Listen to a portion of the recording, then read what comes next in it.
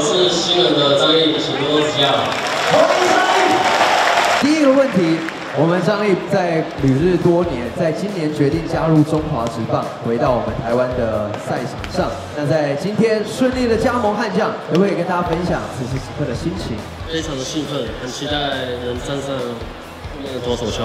掌声欢迎张毅！等你上到投手球，我们一定全场一起帮你大声加油！再来再来，在我们其实已经看到已经登陆并且上一军了。那加入球队之后，已经被所有人期待是我们集战力的角色，要来帮助悍将。那张毅自己有没有给自己设下今年的一个什么目标或期许呢？跟大家分享。呃，目标是没有，只是把每天该做的事情做好，把我最好的表现表现给大家看。掌声送给张毅，张毅全力以赴之外，我们也在舞台上一起全力的为张毅加油。再一次掌声欢迎张毅加盟富邦悍将。富邦悍将十三日宣布与季中选秀会第二轮指名选手张毅完成签约。十三日赛前，张毅在家人的陪同下进行加盟仪式，正式穿上悍将十九号球衣，以二点五年、总值一千三百一十四万元的合约条件加盟富邦悍将。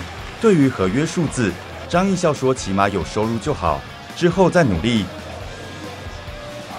今年三十岁的张毅是一名右投手，国中毕业后前往日本就读就学发展，在日本完成大学学业后。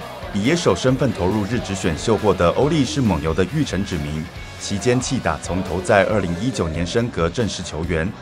张毅在二零一九年代表台湾参加十二强赛一战成名，在预赛对委内瑞拉，复赛对韩国队先发，合计时三点二局无失分拿下二胜，成为台湾击败韩国的大功臣，还一举夺下防御率王、胜率王和明星队先发投手三大奖，是十二强史上第一人。根据富邦球团表示，由于尊重选手个人意愿，因此不会特别公布合约细节。